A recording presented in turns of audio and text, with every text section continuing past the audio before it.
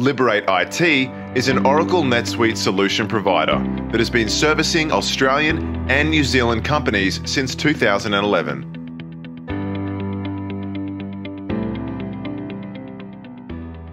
Well, good afternoon, everyone. Uh, welcome to uh, the latest of our customer webinars for our new release 21.2. I'm Andrew Liniger. I'm the Relationship Manager for Liberate IT. I'm really excited about uh, today's session. I'm really looking forward to it. Of course, disappointed that uh, we won't be able to do that in person uh, this time around. A bit surprised by that. I thought uh, our last March event was the last one, but uh, hey, uh, really looking forward to next year and very hopeful that we'll be able to do this in person then. Why we like doing these things is to keep you informed. NetSuite is an important investment for you. So we want to always make sure that you get the most out of it is twice yearly updates are part of your subscription. And so if you've explored some features a few years ago, uh, but ruled them out due to NetSuite not quite having the functionality you need, it's good to occasionally review these. And these um, twice yearly updates really uh, fills the gaps I've noticed with some of those things.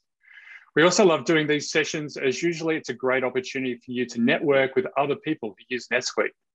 I particularly enjoy seeing someone new to the platform pick the brains of an experienced user. I think the sharing of knowledge and experience benefits everyone. It's a shame we're all missing out on this, but like I said, hope, hopeful that we can do this again in March.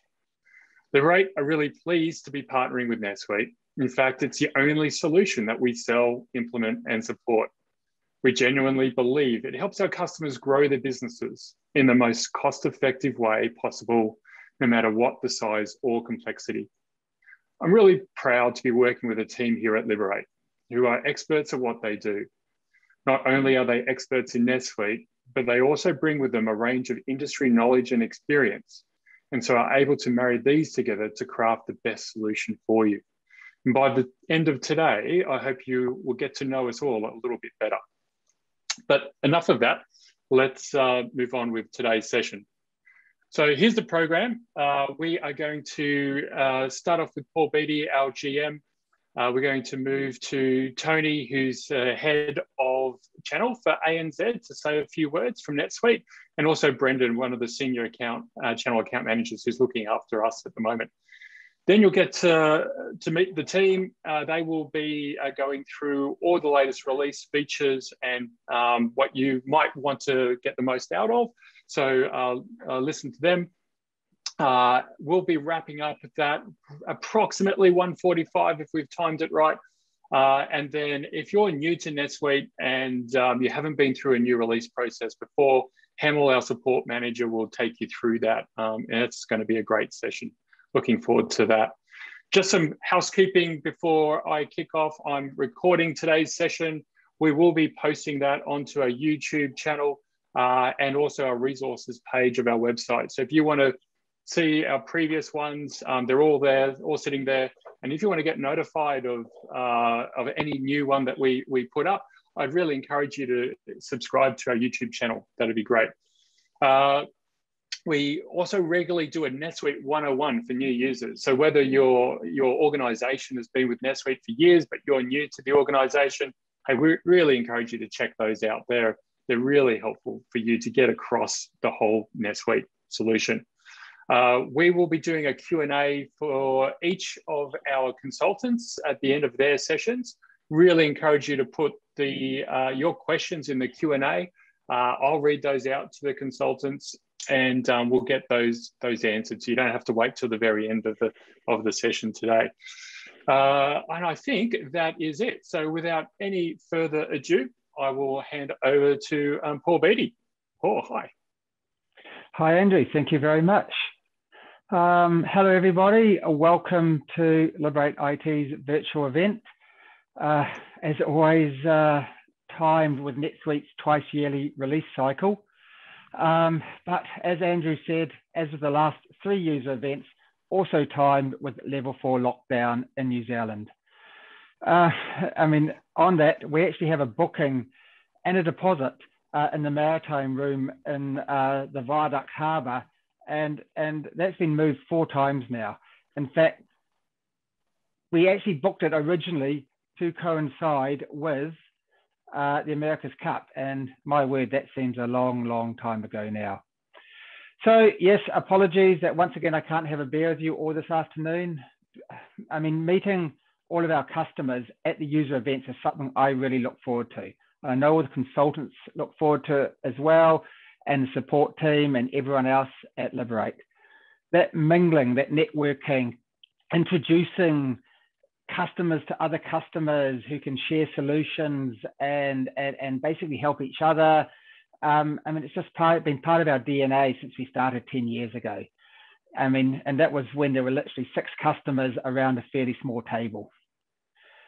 Uh, this upgrade cycle was, and again, this is very disappointing for me personally, it was going to include our very first user event in Brisbane.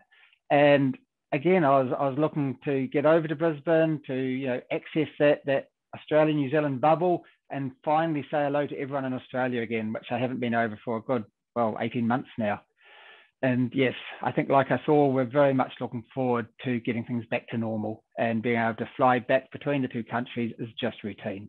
I mean, Liberate is set up as as a one, yeah, two countries operating in two countries, but we literally look at it as one country. We're one organization and flying backwards and forwards within Australia or New Zealand, it doesn't make any difference to us.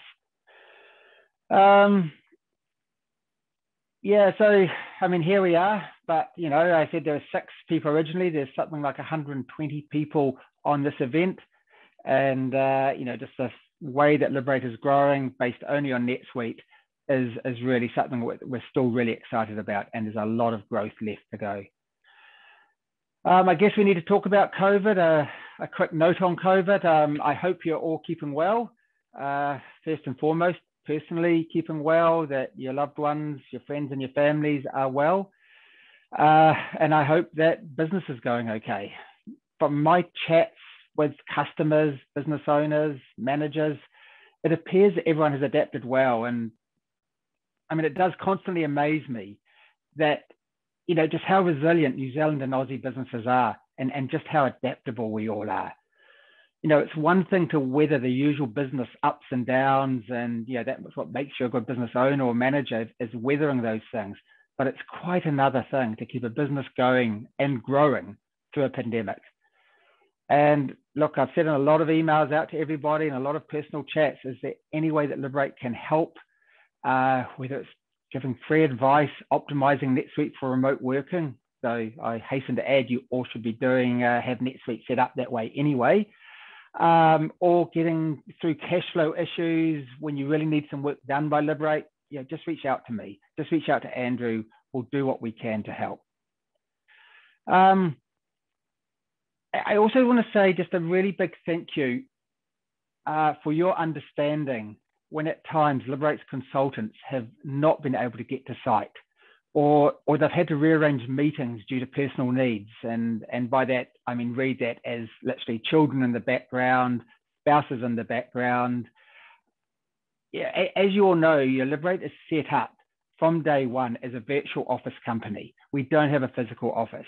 So all our guys do have proper setups in their home offices but what they aren't used to is having the fam the family around during the day.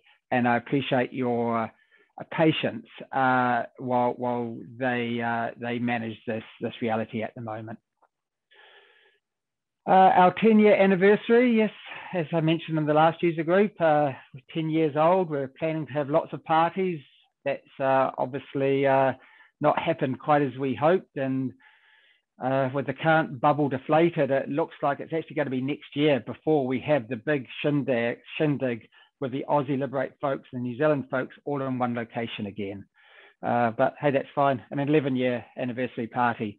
But on that, you know, we've still got these customers that have been with us 10 years. The next one up is um, a company called Navali. Um, you know, 10 years ago, Craig Pinker and uh, a whole of his colleagues uh, came along and uh, talked to us. We only had two or three customers at that time and took a leap of faith. And 10 years later, hey, we're just going through a big optimization with them because their business has grown, has changed. They're now in multiple countries around the world. And we're optimizing, helping to optimize NetSuite because they're pretty smart users themselves. Um, and it's just great to have these guys still with us 10 years later. Um, oh, yes, on Aussie folks. Uh, if you've been on LinkedIn or, in fact, anywhere on the business social networks, you have noticed, because he's hard to miss, he's got something like 10,000 LinkedIn followers, is that Steve Pyer has now moved to Australia. It's been 18 months COVID induced delay from when the decision was made, but he's decided to take the, the plunge, uh, COVID or no COVID, because we really want to show our faith in Australia. And that now means that two of Liberate's senior leadership team are in Australia, one in Brisbane with Steve and Andrew in Sydney. And the consulting team just continues to grow and grow there as well. Uh, it's our biggest growth uh, area is, is, Australia, and we expect uh, major things happening there over the next couple of years.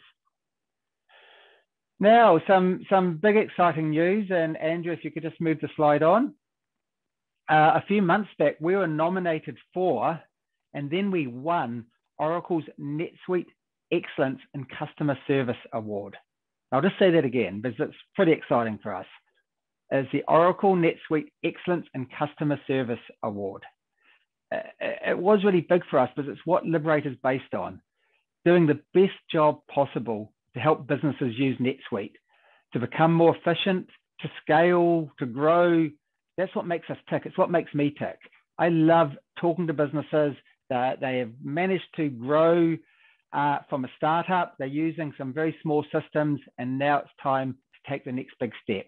And I love getting NetSuite in there, and I love going back year after year and seeing them grow and what NetSuite and Liberate and the Liberate consultants have done to help them grow.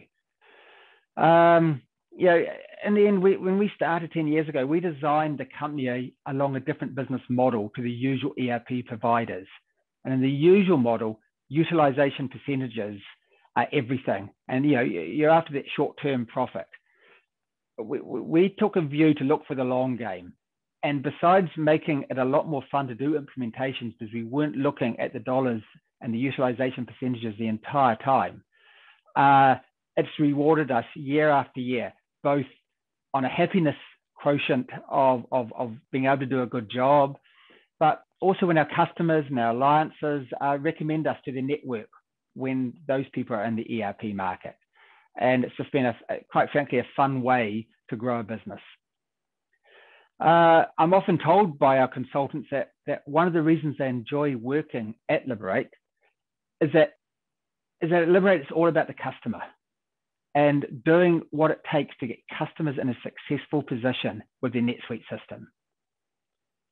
I mean, as you probably know, everyone at Liberate is a NetSuite geek. As Andrew said, it's all we do, which makes our parties can be pretty boring because it's all about the next big supply allocation model out of NetSuite uh, or whatever the next neat feature coming out is. And yeah, the guys that have decided to call Liberate home you know, they love learning new things about NetSuite and then they love sharing that knowledge, both internally to each other and then on to the customers. And, and I think you've all uh, been part of that journey when one consultant or another has got very excited about a new bit of functionality that they can see making magic happen at your business. Yeah, so yes, that's a long way of saying that uh, for Liberate and for everybody at Liberate to be recognized by Oracle NetSuite for the uh, excellence in customer service was a really, really great honor for us. Now, we um, are proud to announce the launch of uh, a, a, new bit of uh, functionality, a, a, new exciting model. And that's what I was talking about just earlier about sharing our knowledge and then sharing our friends' knowledge, whether it be some of our customers, whether they be uh, some of the business leaders that we know that don't use NetSuite, but they are influencers out there. So we have introduced uh, a podcast, a Liberate podcast called Digital Liberation. It's hosted by our very own Julius, uh, and you know, guests will be encouraged to unpack digital transformation trends, to talk about change management, to talk about ERP in general, not just NetSuite, but ERP in general, to talk about cloud, talk about finance, business, and a few you know, social fun things as well. Um, the first two episodes are out there now um, and available to download and watch. You can head to our YouTube channel. And as Andrew said, please uh, be a friend of our YouTube channel. Um, and uh, yeah, the first two is me talking and Steve talking. Um, I hope that my, my spiel doesn't put you to sleep too much. Um, the last thing I want to show, and literally it's just simply here they all are. It's been a long time for some of you to see one of the Liberate consultants because of COVID out there. So I just thought I'd put the photo up. Everyone's still here. Everyone is still working really hard for you. Uh, they're looking forward to get back on site. Some have been able to get on site, some haven't. Uh, as you see, there's something like 30, 36 people um, in that photo. There's people missing there that, that, that literally couldn't fit in. We're continuing to grow and everyone there is a NetSuite geek and everyone there is keen to uh, have a chat to you about how you're using a NetSuite system at some stage. Anyway, enough about me um, and, and Liberate. Uh, let's go and find out a little bit more about uh, NetSuite. But first of all, I'd like to hand it over to Tony Field uh, from Oracle NetSuite. Last thing I'd like to say is, yeah, hope you learn lots today and fingers crossed the next user events, as Andrew said, in both Australia and in New Zealand, we'll all be able to be in the same room together to be able to share a beer or wine. Talk to you all soon. Thanks, Paul.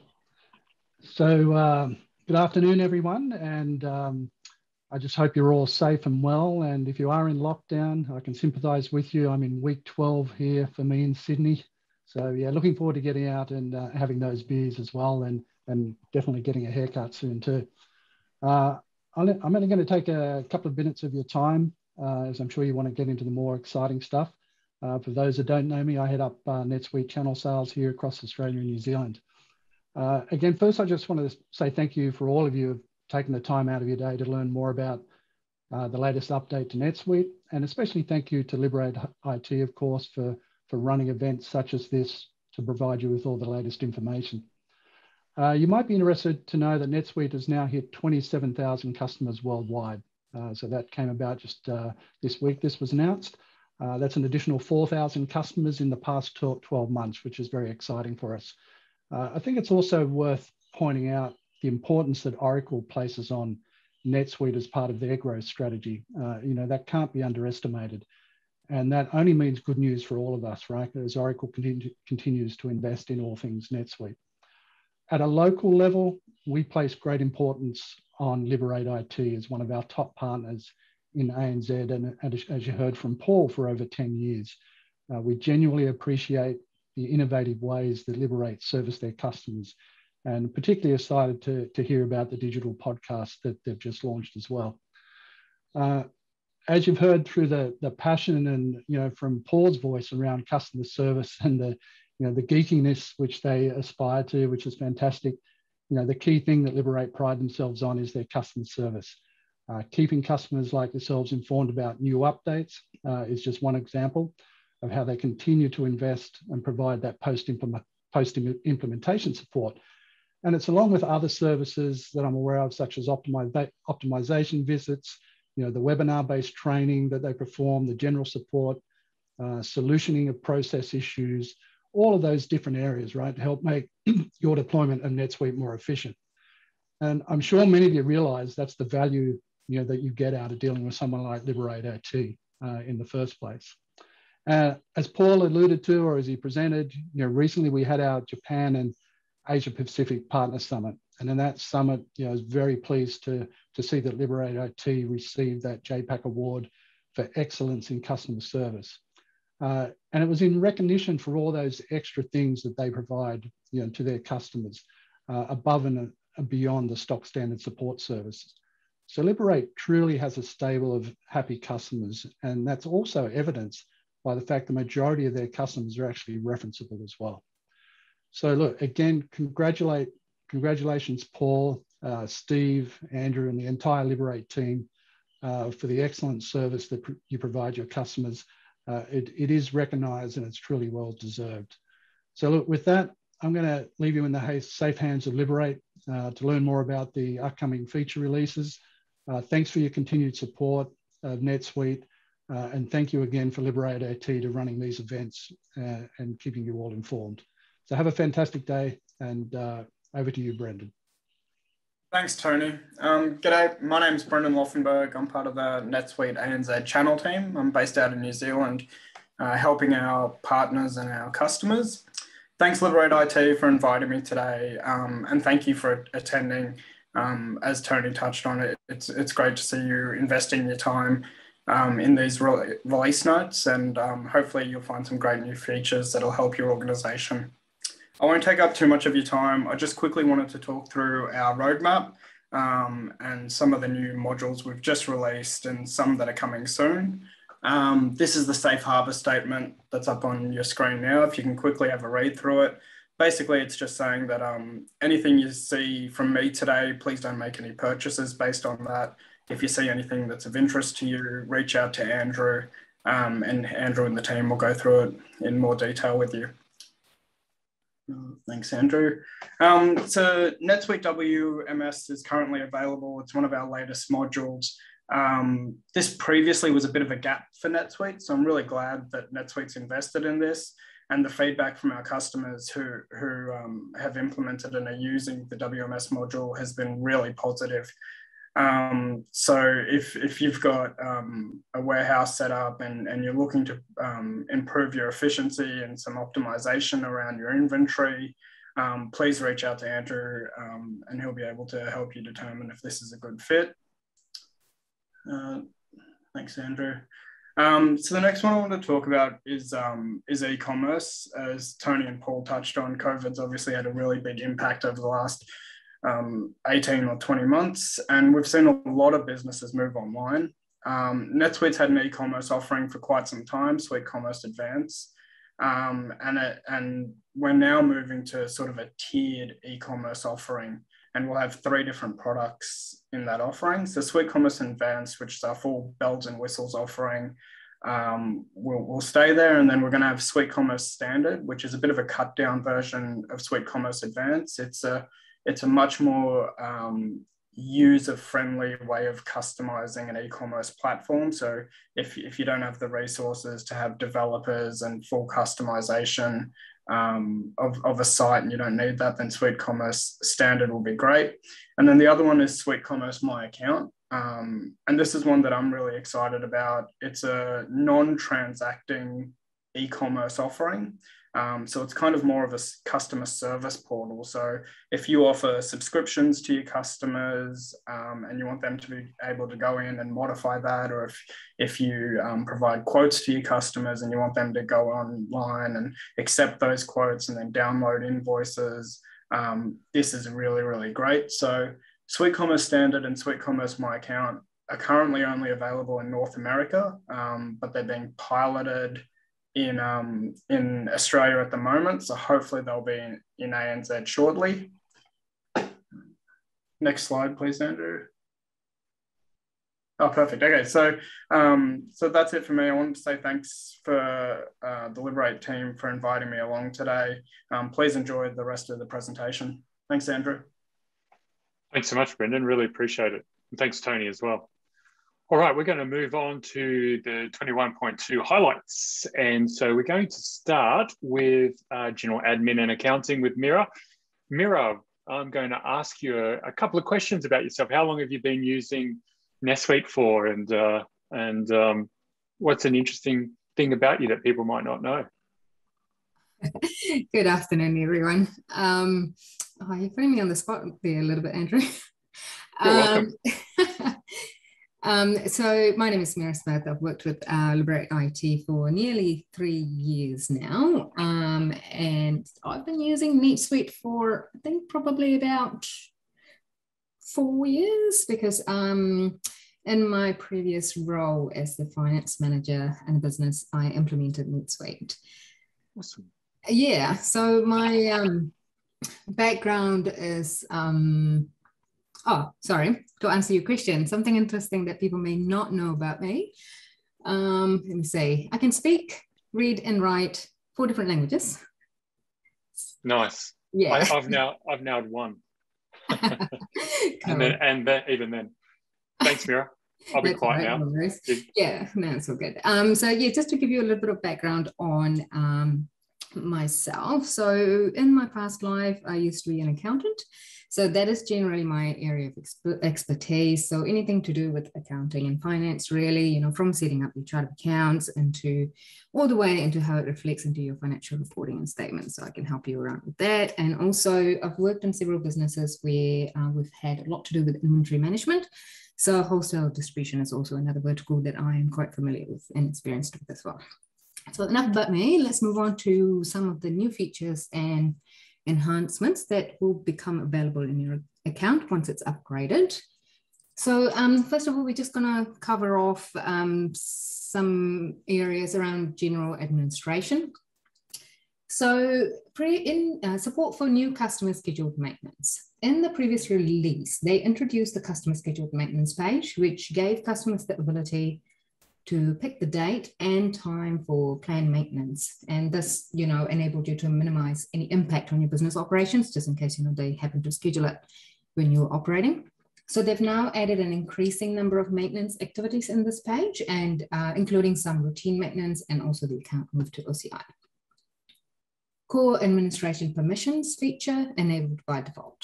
So by default, the core administration permission feature is now enabled on all accounts.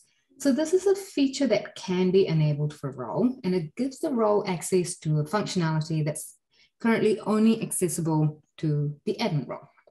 So you can use core administration permissions to customize a role so that it behaves almost like the admin role, while also restricting access to other areas of NetSuite and use your role permissions and restrictions to do that.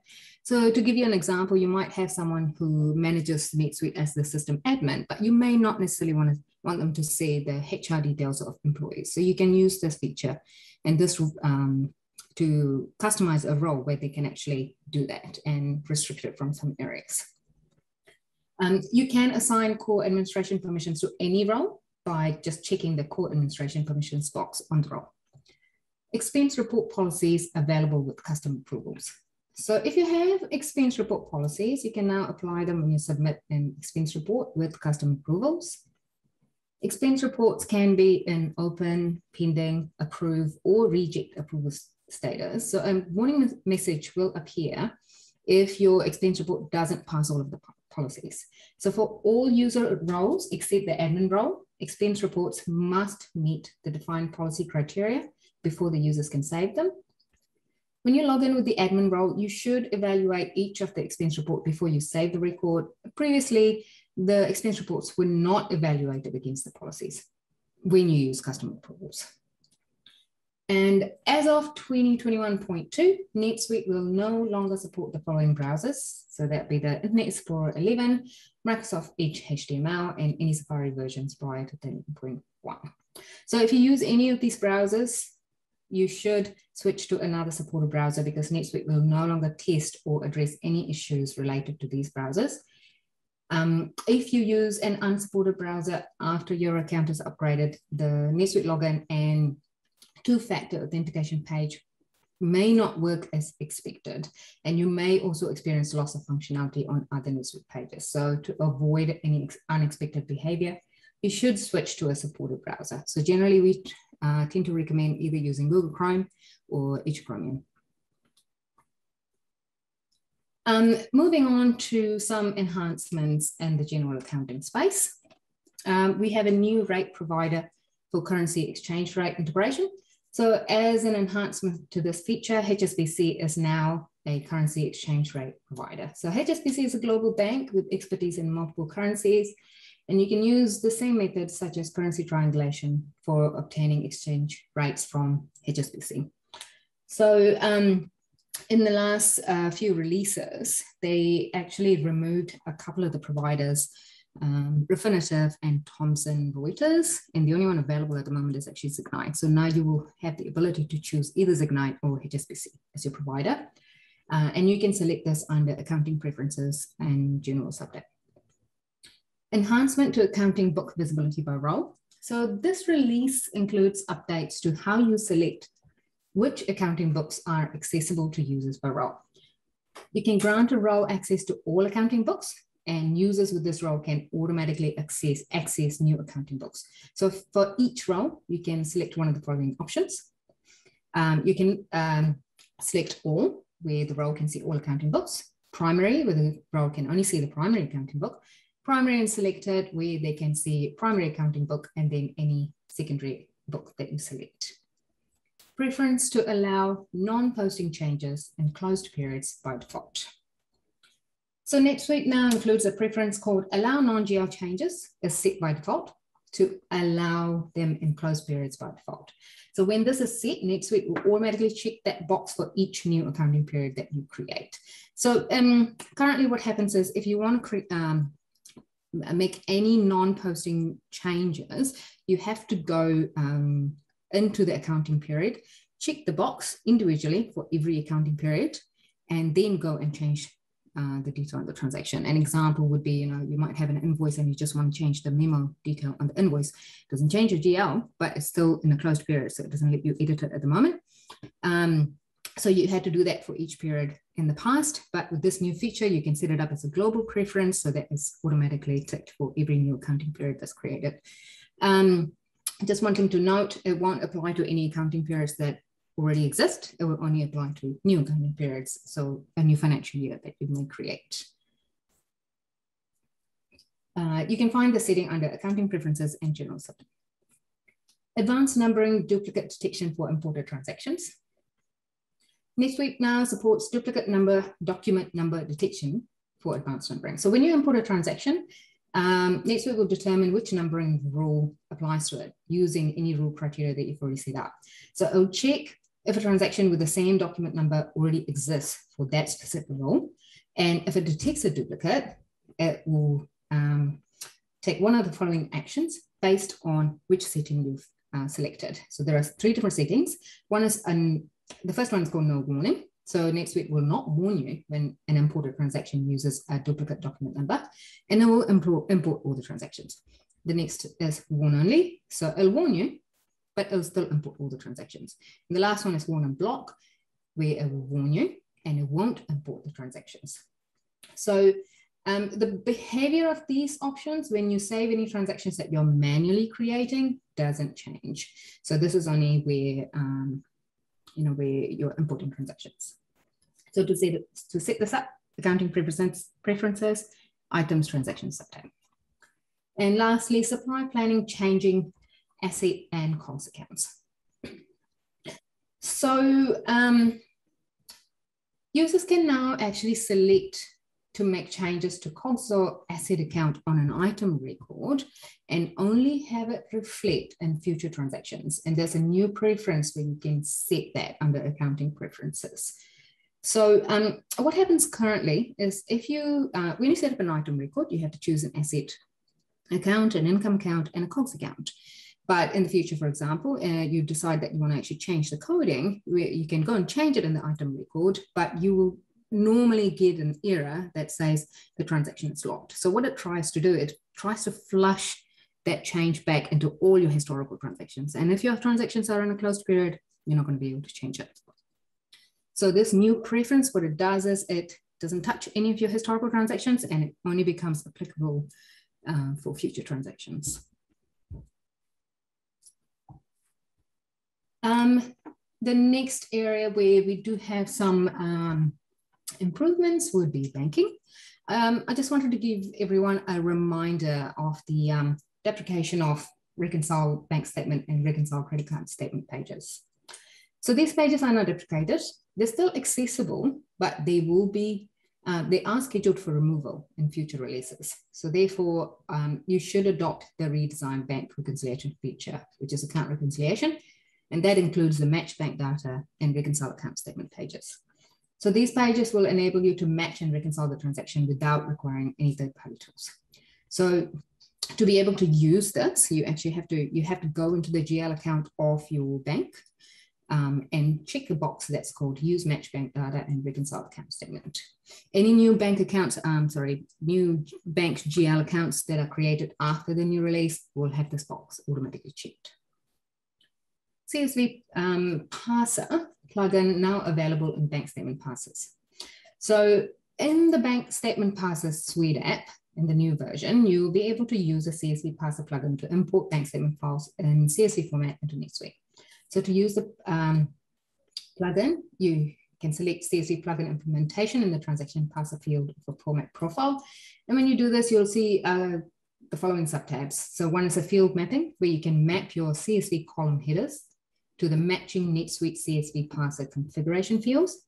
And then the next one is formatting preferences, where you can set up your preferred data formatting preferences based on your CSV file data. So you can download the CSV bank statement template file from the parser configuration subtab and use it to format your bank statement files for import, or alternatively, you can just use your own CSV file. Um, some enhancements to the matching and reconciliation pages. So there's now a bulk matching or select all option for account transactions. So in the match bank data page, um, on the left, you have your bank transactions. On the right, you have your account transactions. The account transactions box now, a window now includes a select all box. So you can check or clear all the boxes for all the items that are visible in the current page of the grid. And then in the bottom section, um, where the selected items from the grids will appear and pop-up windows for viewing matched or clear transactions are now paginated. So the bottom section will now be paginated. So um, what that means is, you know, uh, paginated meaning instead of scrolling all the way down to keep looking for um, more and more and more lines, you have to move from page one to page two, page three. So it's um, for a large number of transactions, pagination can help improve the performance because the browser doesn't have to display all of the selected transactions at, at once. And you can choose um, how many rows the bottom section can display per page under the number of rows in list segments preference. That's a user preference that you can uh, select in your set preferences. Each page can display a maximum 500 rows at a time. Automatically clear held transactions. So previously, when you migrate a held statement from the original rec page to the redesign page, you have to clear all transactions on the matched bank data page. So a held statement is one where you've begun to reconcile, but you've chosen to complete later.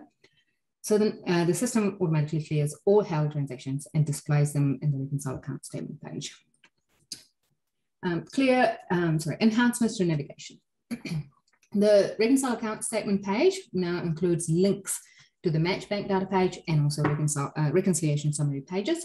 So um, when you actually select an account on the reconcile account statement page, you can click on those links and it'll take you to those, those pages automatically enhancements to adding transactions. So prior to this release, when you add a new transaction on the match bank data page, the payer list didn't display all types of entities. So now the payer list does include uh, the types of entities that are available for the corresponding transaction. So any newly created transaction will appear at the top of the list in the bottom section. Partially completed import status. this is a new status which is shown when you do uh, bank and credit card account imports. Um, the specific errors will also be shown and, they, and then the users will have the ability to edit and create.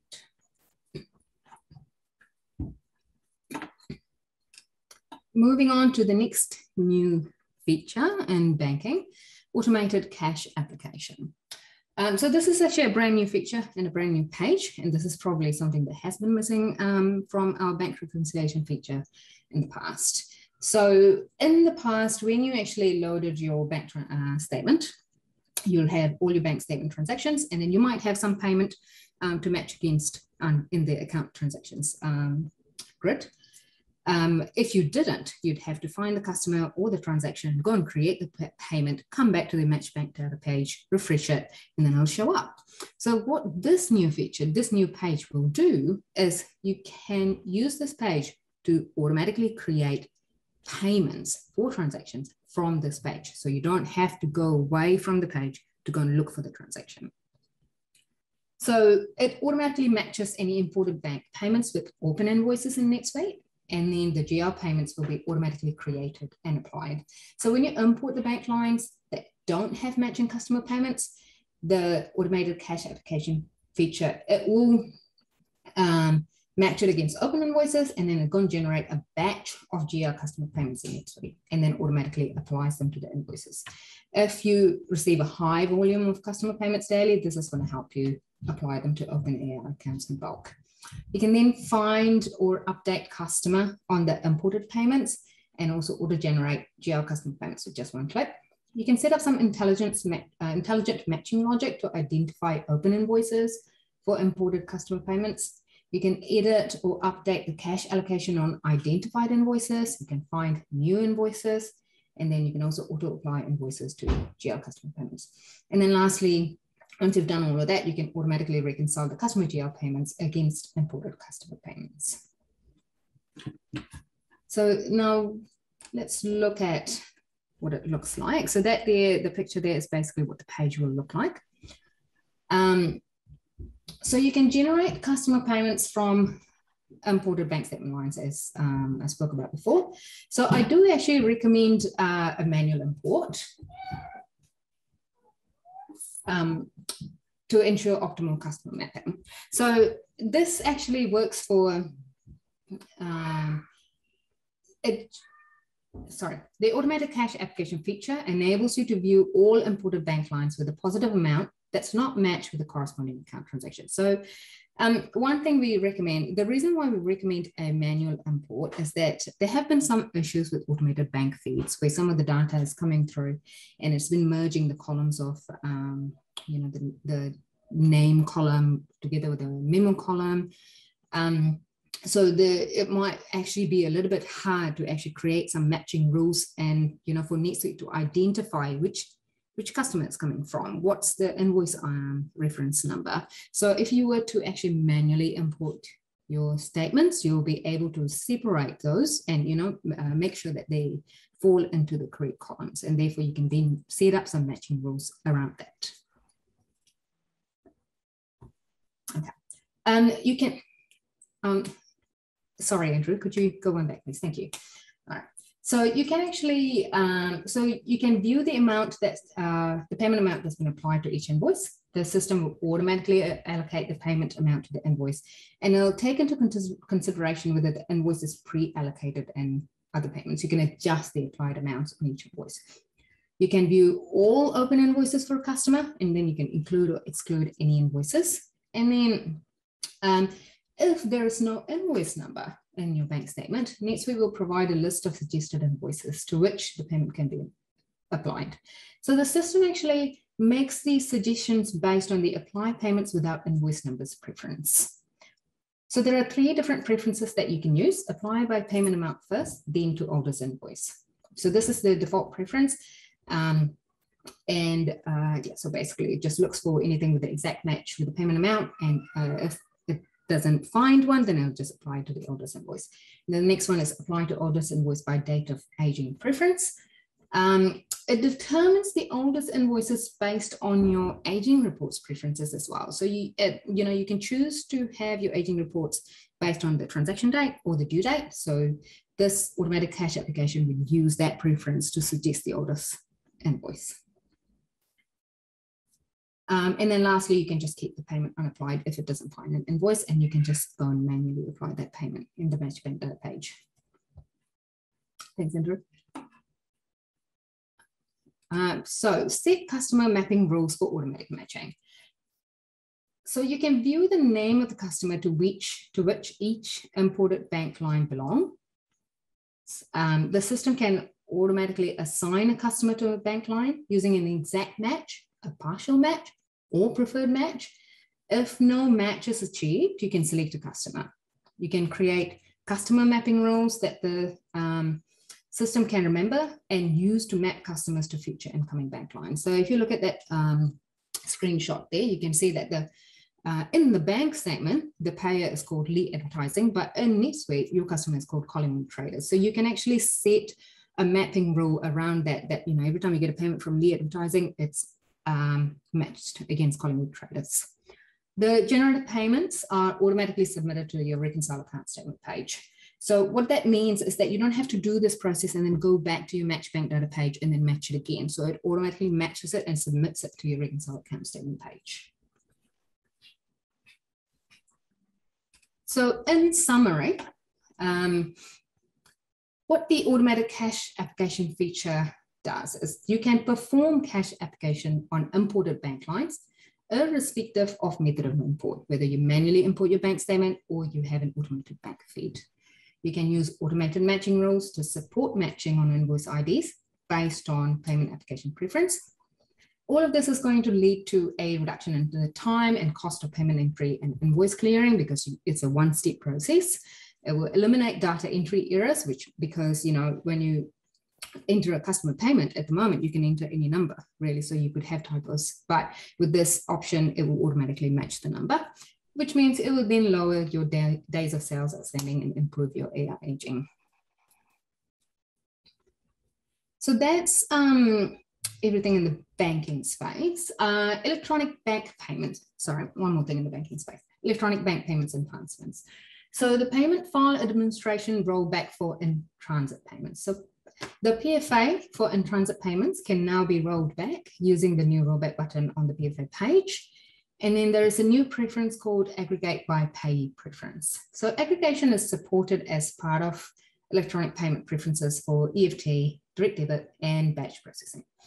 So at the moment, when you process an EFT batch, um, on the screen, there is a little checkbox that says aggregate by payee, which means if you have 10 invoices for one supplier, it will make one payment for that supplier. So this default now can actually be set at the preference page for reflecting in the respective processing pages. So you can clear the aggregate by pay box on the electronic payments preference to turn off the aggregate by pay settings.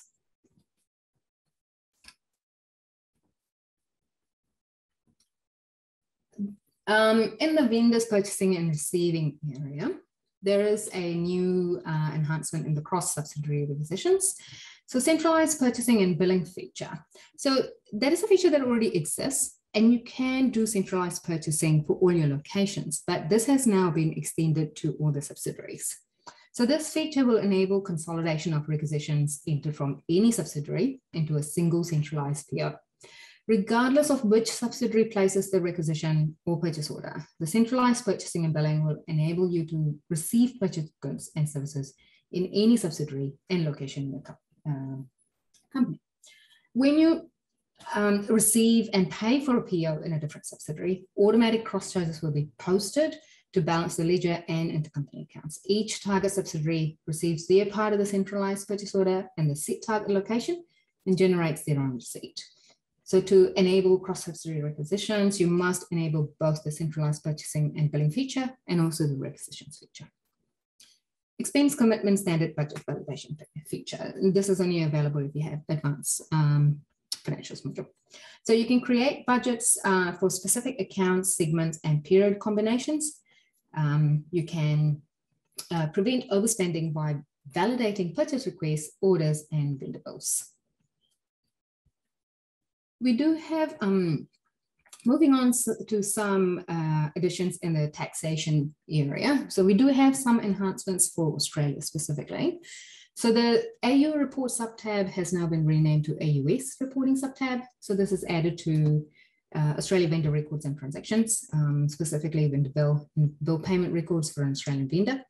The ANZ, ANZ localization preferences setup. On this page, you can actually set up your company preferences for Australia and New Zealand customer vendor records. If you're an admin, uh, it'll be under setup ANZ localization and preferences. ABN and NZBN verification verification warning. So there'll be a, there's a new preference on the ANZ localization preferences and also set preferences um, pages. You can use this field to set up a warning banner to prevent invalid ABN and NZBN from being entered on customer and vendor records. Australia Payment Times Report, PTR, uh, for small business supplier identification. So in preparation for the PTR, a new small business checkbox is added on the AUS reporting subtab for Australian vendor records. So you can check this box to identify vendors as small business suppliers and therefore reportable for PTR. Supplier ABN list report. You can use this page to generate a list of your vendors ABNs and then export it to a CSV file and then run it through the SBI tool for small business identification. You can then check the small business boxes of the identified small businesses to include it in the payment times reporting. If you're an admin, you can access this page at set up ANZ localization and supply list. And then last one would be Australia Taxable Payments Annual Report, TPAR enhancements. So uh, with this report, you can now, uh, there's an export PDF icon. So you have the option to view and download your TPAR as PDF. There's a summary report. So you can view a list of all your TPAR reportable bill payments per payee and export it to a spreadsheet. And then there's also a detailed report where when you view the summary, you can drill down to the bill payment and view all the reported bills. You can also export this report to a spreadsheet.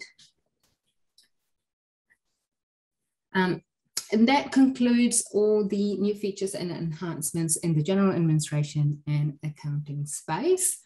Um, do we have?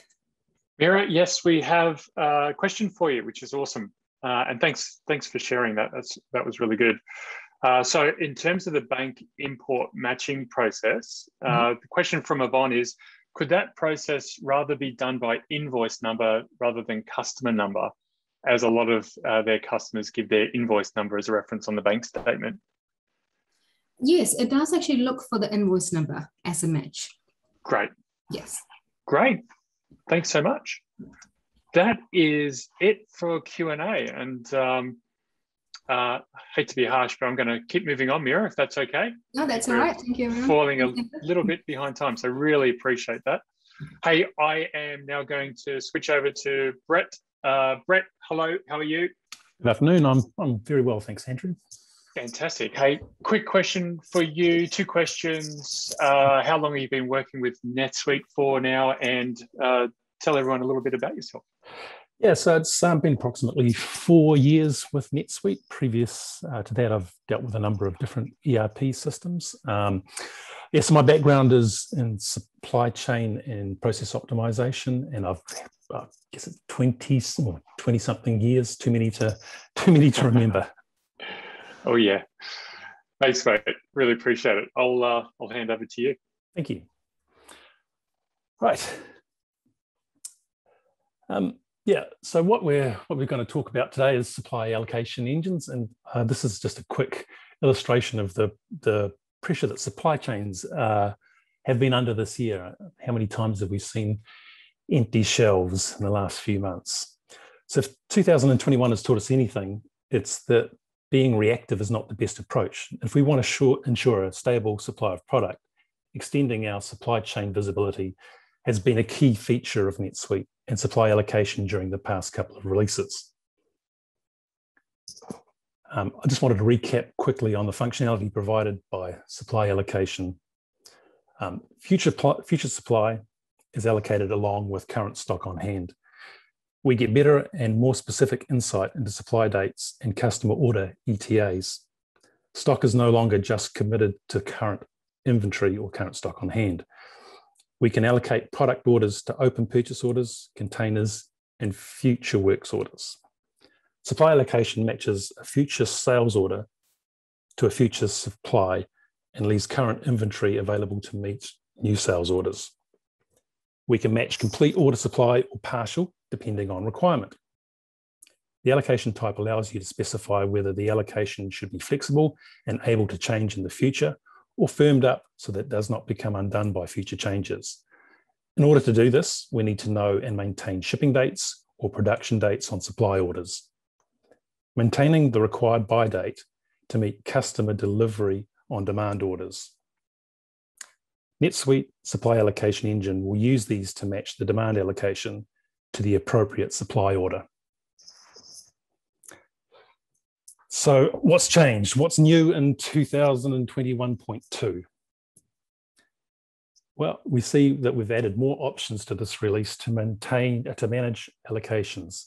There's an earliest item availability function, the ability to optimize allocation for gross profit and revenue, allocate sales orders manually prior to system allocation.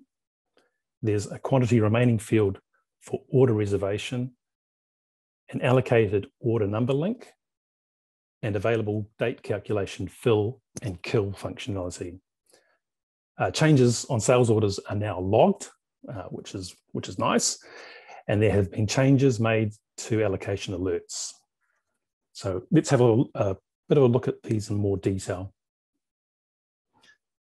The supply allocation earliest item availability page computes item and location level availability information based on simulated allocations. Under supply allocation setup, you can set a default strategy to use for earliest item availability. The system then displays the computed availability date for each location. Earliest item availability is now also compatible with sales channel allocation. This improves the earliest availability accuracy by limiting the calculation to allocate supplies set aside for those sales channels. This functionality is targeted uh, is targeted primarily at product-based industries looking to create better insights into supply and specifically which strategies work best with different sources of supply. Uh, this type of information will typically be used um, by customer services reps, sales and accounts managers, uh, production and inventory planners. Optimizing for gross profit and revenue, or how do we increase productivity? Uh, what can we do to provide the best financial results? Here we have the ability to switch between strategies for maximum revenue, profit, or customer satisfaction. And as a result, we have more control over business related objectives based on the existing supply. Here, both the gross profit and the revenue allocation optimization compute allocations to maximize the sum of gross profit or revenue on the selected sales orders lines. Manual allocation of sales orders when the supply allocation preference is set to immediate allocation after order entry uh, a new allocation button appears on the sales order form. This allows us to set the allocation at a time that we choose. The allocate button is available on the sales order in view mode. In this way, we can set to allocate orders in the sequence that we desire and prior to any schedule that may be running. Uh, furthermore, you can also set the line commitment to true to prevent uh, future reallocation. There's now a quantity remaining field for order reservation. That's the next slide, please, Andrew. Yep. Uh, next one, too. Thank you. This field displays unallocated item quantities. You can use this information uh, and it can help you decide how many more items you need to reserve. There's an allocated order number link. Next slide, please. The number displayed in the sales order items sub-tab um, allocated supply or allocated demand order column now provides a link to the new allocated order pop-up window. You can use this feature to navigate between demand and supply to learn whether other demands are allocated to the source supply and which supplies are allocated to demand. Okay. Right, bit of a yeah, there's a few lines and a few uh, few arrows in different directions, but basically this the new allocated demand and allocated supply pop-up window displays all allocation line information. The pop-up window improves navigation across demand orders, supply orders, channel reservations, and allocations. The allocation lines display a link to the allocated supply order to see which demand uses the same supply source in the demand order, you can click on the demand order link to open up the allocated demand pop-up window. The allocated demand pop-up window shows all orders that use the same source of supply. To see sources of supply a demand order is using in the supply order, click the demand order link to open up the allocated demand pop-up window. So in a nutshell, there's far better linkages between, uh, between the different data sources. After you have enabled uh, sales channel allocations and set channel reservation supplies aside, you can navigate from the, from the allocation pop-up window to the order reservation and back again. Available date calculation fill and kill. Um, this, this feature just sounds cool. It's got the, the best name of all the enhancements. Available date calculation fill and kill. Most likely to be used uh, as a customer related strategy. This option supports fill and kill order management scenarios. Uh, the feature enable, uh, enables you to fulfill orders that need to be shipped immediately and whatever quantity is currently available. After that, the system will close it.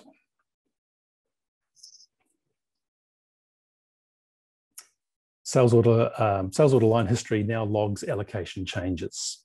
Here we can analyze changes and see just when the order was allocated or deallocated. Being logged into the system notes, we can also create save searches to extract this information.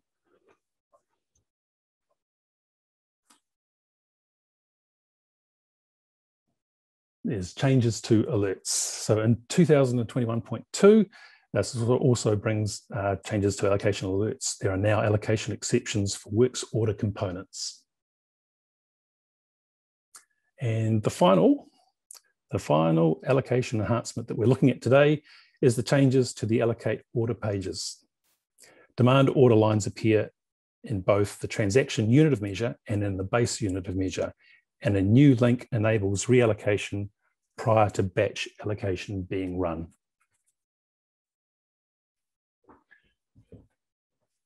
Okay, warehouse management enhancements. There's, there's a few of these, uh, just, just a few.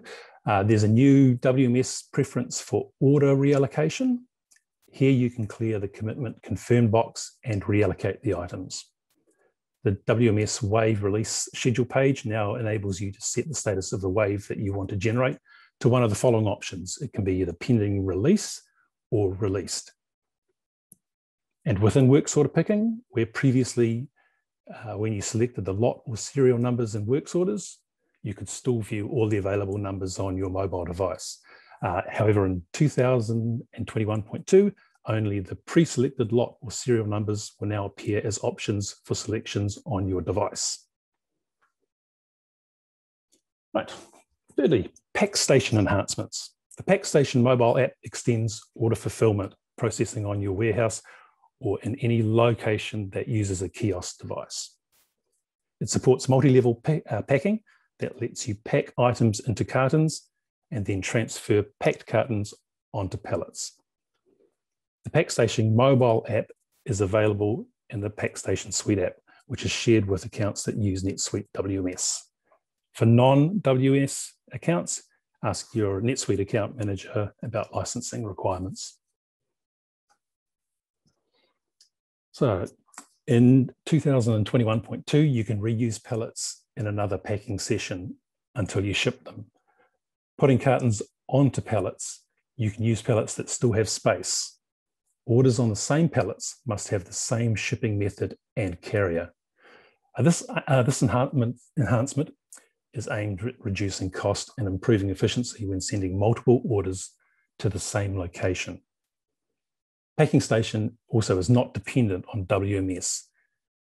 Packing uses all bins on ERP or outbound staging bins for WMS, but you still need the SCM mobile as, as does the uh, NetSuite WMS. Our real-time updates. So PackStation provides some new system rules. It allows real-time packing updates to fulfillments. It lets you update fulfillment records and custom fields on order transactions in real time. You can specify a limit from 1 to 75 fulfillment lines to replace the default limit of 25 lines. And when you submit the orders for packing, real-time updates apply to fulfillments that do not exceed the limit. Right, auto-generate cartons and pallet IDs. This enables you uh, to use pallet IDs based on the format that you provide or define or the order number. On a kiosk device, you can view the auto-generated ID of a new carton or pallet. This rule does not apply to items that ship individually or ship um, as is, which have auto-generated IDs by default. And that's a wrap up of the features. Uh, please feel free to reach out if you have any more questions or need any more details on any of these features. Brilliant, Brett. Thanks so much, mate. Hey, I do have a question for you already, though. Sure. Uh, the question is from Anonymous Will the allocation changes logged on sales orders include stock on hand that has been reallocated? Uh, stock on hand it will allocate the specific changes to the uh, to the sales order line or the purchase order line or the works order line. Um, so are you asking whether the, it shows the change just generically to the item? Well, you know, I'm not really asking the question. uh, in that case, yeah, in that, in that case, uh, it's not logged against specifically the item, but specifically against the transaction or the line, the line change within the um, transaction. No problem. Look, if there's a follow-up question um, for Brett, feel free to still put in the Q&A. He'll, he'll jump on and uh, answer any of those questions that you might have. Absolutely. Um, happy to do that. All right. Ah, we've got Lars. Lars, hello. Hello. How are you? I'm well. How are you? I know. I, oh, I'm great. I know you speak multiple languages, mate. Are you are you just doing up to two languages, or have you got more? Way more. Wow. it's a competition now. How many? No, four. I think four sort of fluently, and a, a few more not very fluently. But I only use English these days and Kiwi. Very nice. Very nice. Hey, um, a bit about yourself, mate. What area of specialty do you focus in on at NetSuite? Yeah, um, been in the NetSuite space for about 10 years. I think I did my first implementation in 2011, 12-ish.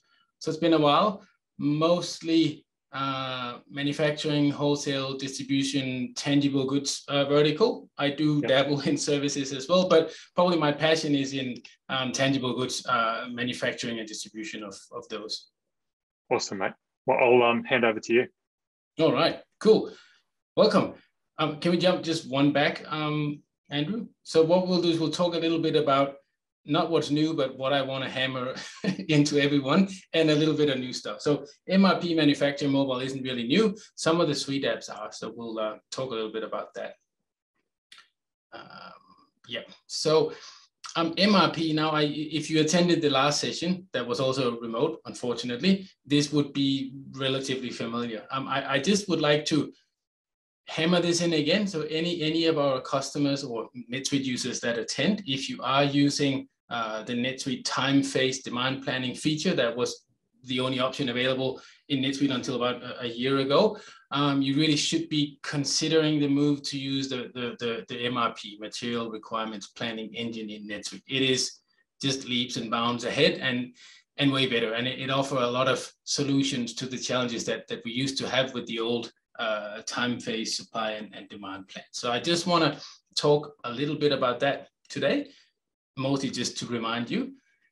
We are happy to help you with this. So if you are using the, the, the time-phased model, uh, reach out. Andrew um, can help you facilitate, and we can help you with how to transition because it, isn't it isn't that hard, and there's a lot of benefits. Um, on the left-hand side of the screen, you'll notice it says replenishment method. That's where uh, currently you may have time phased or reorder point. Now, if you turn on MRP, you'll be able to select requirements planning. Um, there's another new thing called planning item category. So it's, it, we need to uh, put our items into categories for planning purposes. And then on the item location configuration file that's on your right-hand side, there's a few new fields that, that is required to be uh, managed. I guess what I want to say with this is just like in the past, we had to set the DRP settings for each item by location. You still have to do that when you use MRP. That, that doesn't change. Um, there's just a few more fields to be, uh, to be managed now. Right, we'll jump on to the next one. Now, um, how does it work and why am I so keen on using the new MRP feature? So we have what's called a supply plan repository, which we didn't have before. The, the challenge in the past with NetSuite's supply and demand plan was always that we were interrogating uh, live transitional data when we ran our uh, supply plans overnight. Um, and that could take quite a while if you had a lot of items or a lot of locations in your distribution network. So what we've done now is we've uh, essentially taken a, um, a cased version, a snapshot of all uh, items and all transactions and put them into a separate database, if you will, and called that the supply plan repository. Now, what this does is it enables us to interrogate our uh, data that we use for demand planning um, instantly and quickly and, and more flexibly. We do have to obviously remember to update our um, supply plan um, because it, it's just a, a, a picture at a point in time. Previously, there was no way to script the running of supply plans. Now NetSuite has a native functionality. Uh, if we jump to the uh, next page, um, Andrew, where uh, we can refresh our planning repository, right? So we can do a complete refresh, which is have a look and take all items and all transactions in a given period, or we can do just a net change a refresh. So there's any sort of IT nerds in the room back in the day when we had on-site servers and you do your overnight backup, you can do just incremental backup. It's essentially that, right? It'll just refresh the changes that have, that have happened. And what this means is it is a lot faster, it is a lot smoother, and it can also be scheduled. So uh, no more um, do we have to come in early on Monday morning to run it or stay late Friday? Um, you know who you are. I'm looking at you. We can fix it. Hit me up. um, so it's just amazing, right? Because there's a lot of these features that we've been screaming out for are now here, um, which I am I'm quite happy uh, about. And hopefully we can, we can help you guys with, with this.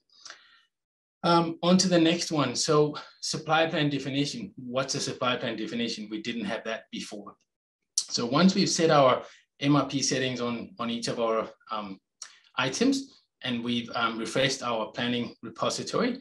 This is a considered like a pair of glasses. So now how do I wanna look at my data for demand planning purposes? So we can say, well, I wanna look at Perth and I can see, do I wanna look at sales order demand? Do I wanna look at sales order and demand plans? We can still load demand plans and put in our forecast just the same. Do I wanna consume my forecast? Do I not wanna consume my forecast? And um, do I want to generate pegging? And the one that says generate pegging is, is really um, key. So if we um, jump ahead a little bit, Andrew, to the next page. One more, please. Just gonna skip that one. Yeah, so, so this is what the MRP workbench does. So essentially, once we've set our supply plan definition, we take generate pegging, and then we run our supply plan, and then it fires into this MRP workbench.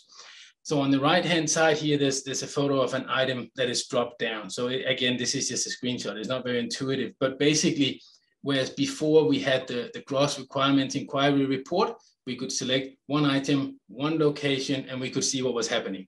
And it was a, bit of a painful experience trying to be a planner with just that. Um, so in the past, we have worked on building custom reports to make that easier.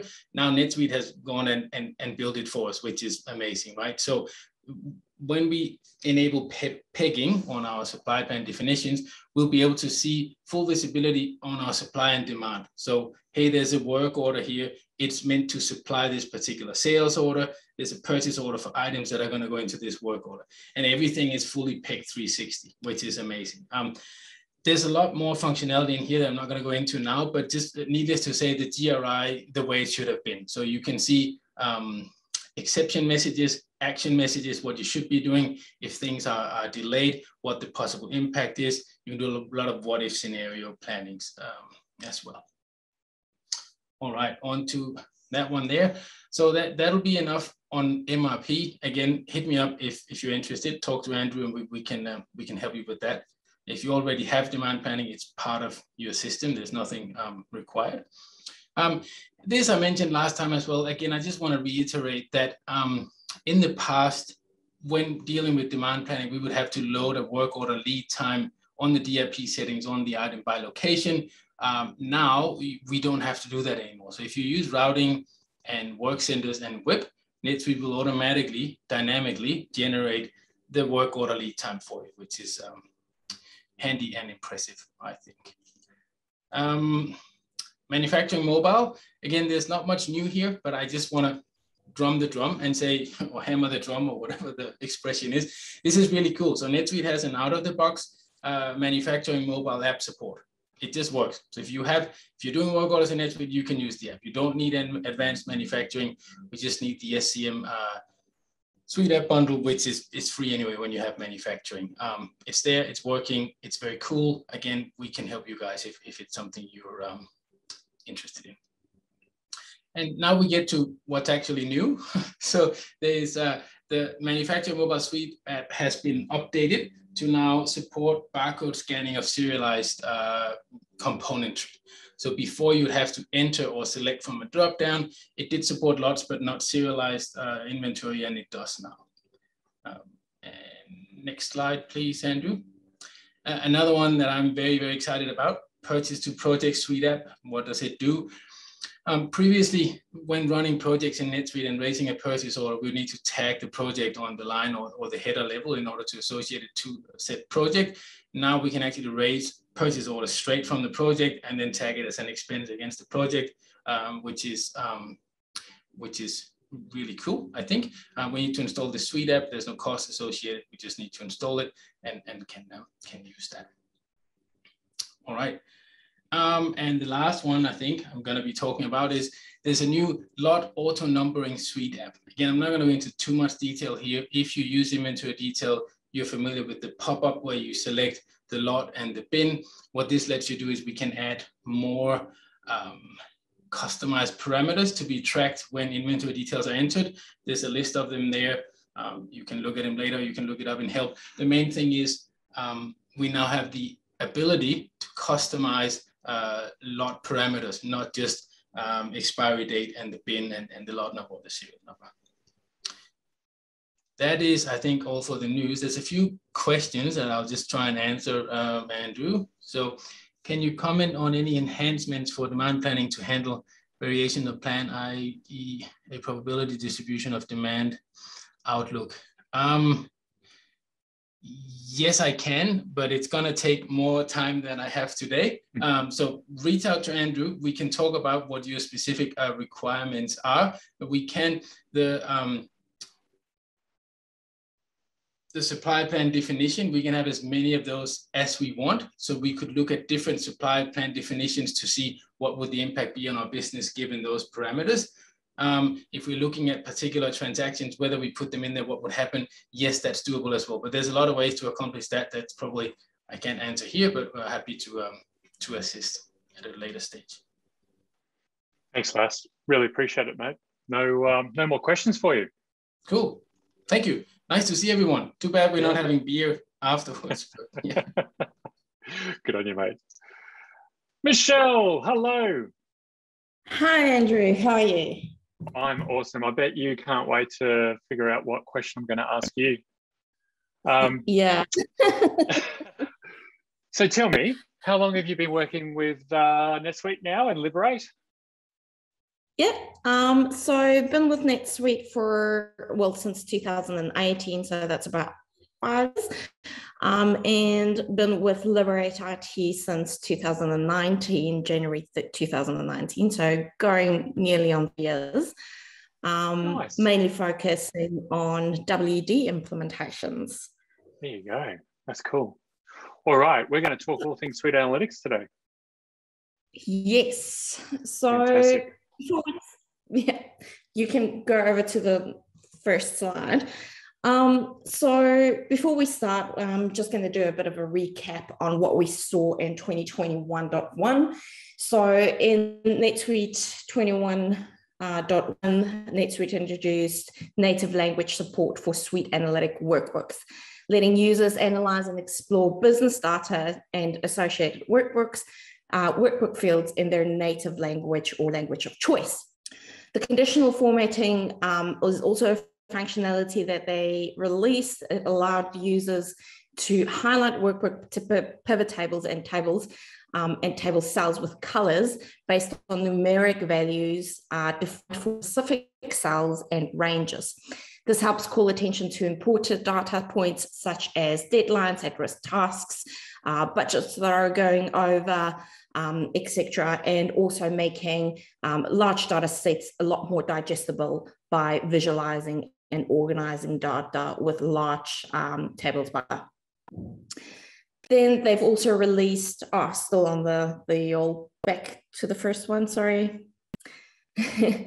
So then they've also released calculated measure um, functionality, and that supports filtering with, uh, within pivot tables, letting users see results from two periods side by side and conduct uh, comparative analysis faster and with more confidence. Uh, we can go over to the next slide now. So Suite 2021.2 will include the following enhancements. Um, so we're going to see dataset linking in Suite Analytics Workbook. Um, there's a new feature called Cache Data and Datasets.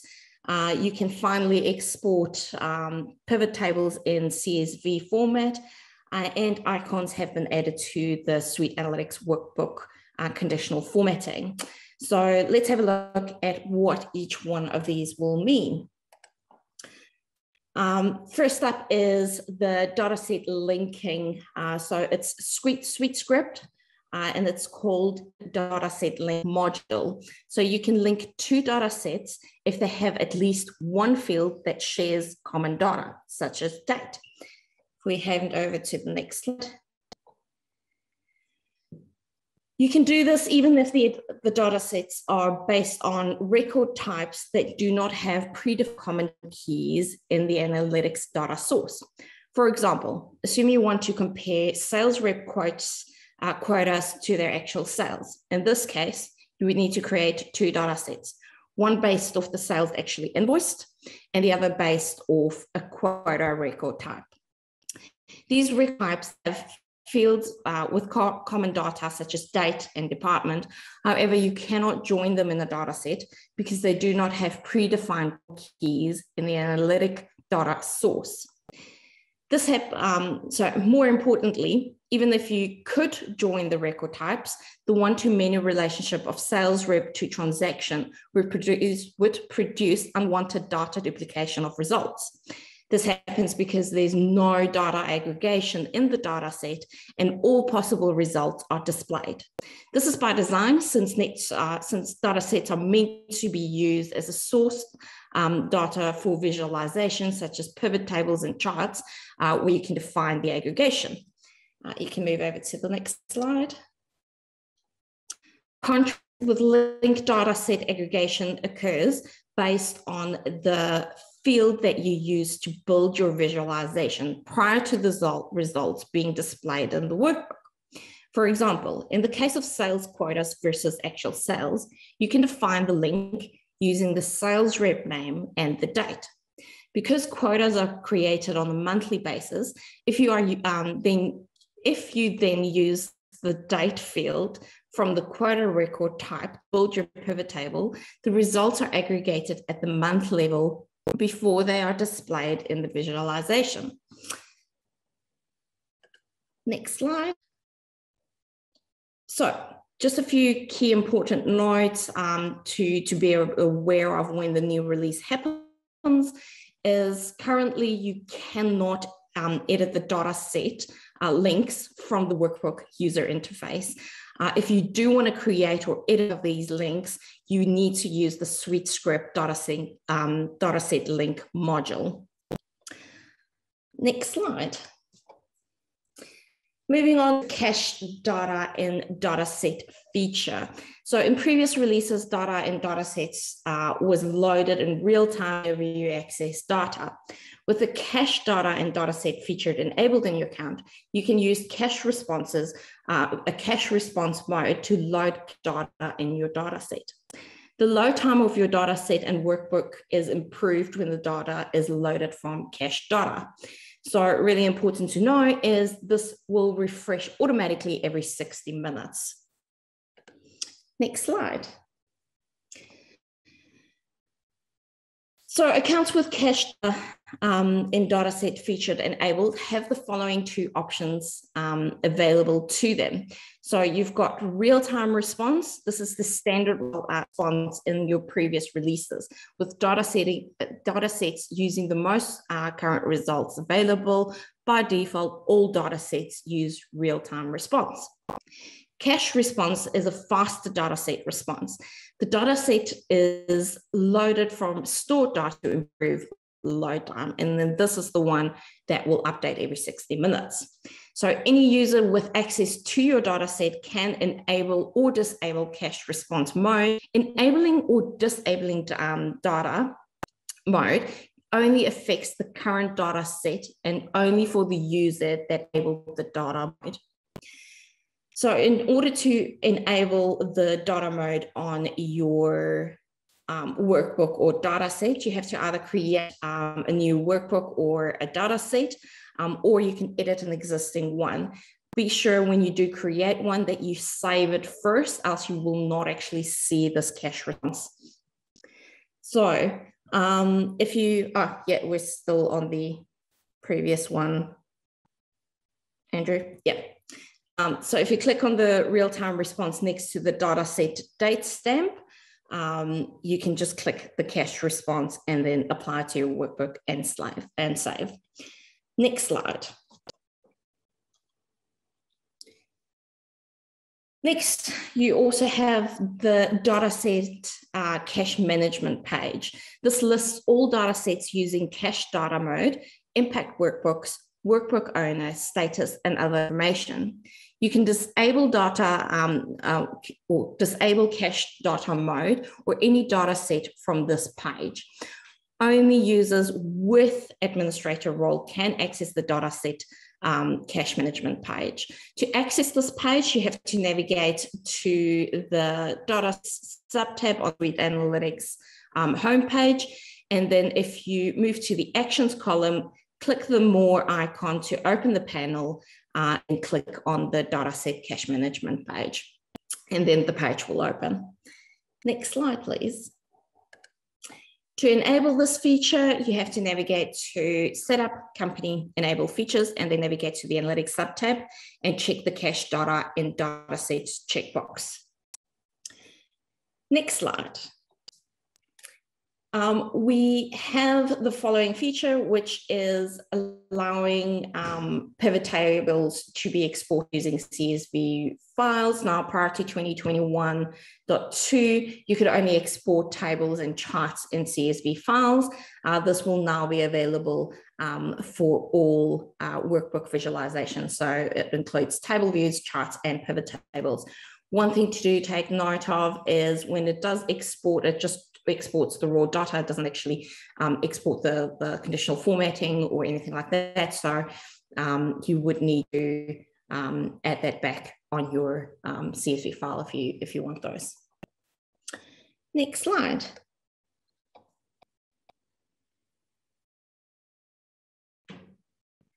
Oh, great. In addition to colors, you can now apply icons to your workbook table view and the table results using conditional formatting. Depending on the conditions you set up, you can apply conditional formatting to groups of results or individual results. You can also apply conditional formatting to any fields containing numbers or string values, including custom, for, custom formula fields and calculated measures. Great, so I'm going to leave some time for questions. Michelle, looks like you've nailed it. We've got no questions for you. Oh, that's good. yeah. Look, as as with everyone else, if you've got any questions that have come to you after after we move on to the next session, um, uh, feel free to put it in Q and A, and Michelle will jump on and answer any of those for you. So thanks so much, Michelle. Really appreciate it. Uh, I am now going to hand over to Jonathan with some technical updates. Hello, Jonathan. Hey, Andrew. How's it going? I'm awesome, mate. Thank you very much. Hey, let's uh, let's quickly move on, shall we? I'm, I've done a bad job of keeping to time. Perfect. Um, so, a couple of key technical pieces I want to touch on today. Um, the first one, Mira spoke about, which is the support for the new customer scheduled maintenance the piece I want to point out there is you can also reschedule your move to the uh, Oracle Cloud infrastructure as well. Um, in addition to that, the workbook API is now generally available. So that is your suite analytics. So all those nifty new tools that you can do, like building data sets and connecting them together, that is what can now be built out in Suite Script to allow you to do that. Um, in addition, you've got additional REST endpoints that have now become general availability, and that one there is the, the query service.